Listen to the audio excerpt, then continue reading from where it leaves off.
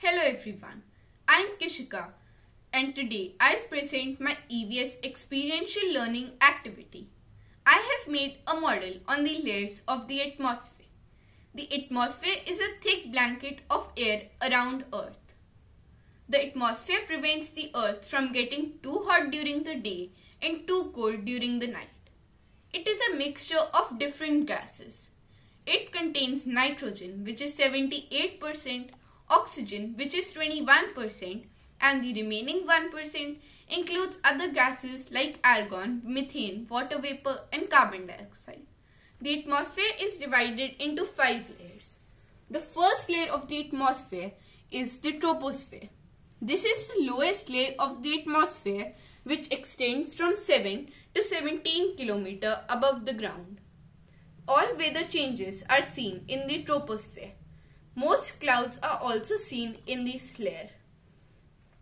The troposphere contains 75% of all the air in the atmosphere. The layer above the troposphere is the stratosphere. Planes and weather balloons are seen in the stratosphere. The ozone layer is also present inside the stratosphere. The ozone molecules in this layer absorb the ultraviolet rays of the sun and convert them into heat. The next layer is the mesosphere. The mesosphere is located 50 km above the ground. Meteors are also seen in the mesosphere. This layer prevents meteors from heating the Earth's surface.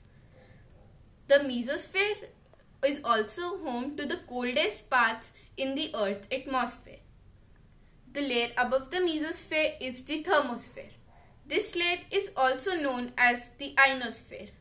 The aurora, the northern lights and the southern lights are seen in this layer. The ionosphere reflects radio waves and helps in transmitting radio programs live all through the world. The next and the last layer is the exosphere. The exosphere fades into outer space. Weather satellites that orbit Earth at a great height are in the exosphere. That was all about the layers of the atmosphere. I hope you liked my project. Thank you.